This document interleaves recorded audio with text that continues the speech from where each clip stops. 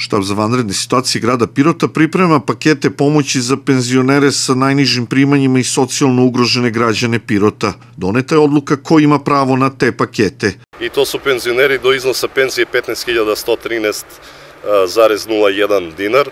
Тоа се пензионери и стажа осигурања iz poljoprivrednih penzija i zanatskih penzija.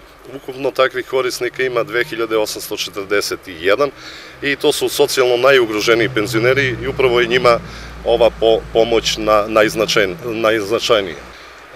To su ljudi koji imaju tuđu negu i pomoć i ovaj, ljudi koji su nosioci, odnosno korisnici novčane nadoknade preko Centra za socijalni rad. Preko Crvenog krsta takođe za ljude preko 65 godina ovaj, i ukupno je njih 102, a koji su na, na narodnoj kuhinji i ukupno takvih socijalno najugroženijih lica na teritoriji grada Pirota ima 3300. Danas je odluka proširena, pa će pakete dobiti i samohrani roditelji koji ispunjavaju uslove. To su samohrani roditelji njih ima negde oko ovaj, 400 i to, sam, i to kategorije samohranih roditelja koji su nosioci, odnosno korisnici dečijeg dodatka. Tako da ćemo imati negde oko 3700-800 ovih najugroženijih slojeva stanovništva. U paketima će biti osnovne životne namirnice i higijenska sredstva i to po litar zejtina, 2 kg belog brašna, kilogram kukuruznog brašna, kilogram šećera, 2 sapuna, kilogram praška i pola litra dezinfekcionih sredstava.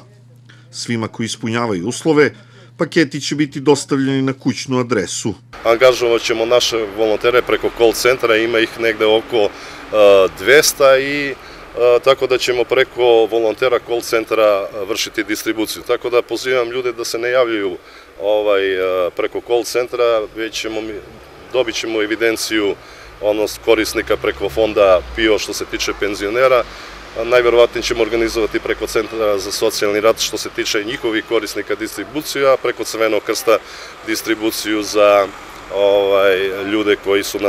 Ranđelović očekuje da do kraja ove nedelje bude završena kompletna procedura oko pripreme paketa, a da će oni biti dostavljeni na kućne adrese do kraja naredne nedelje.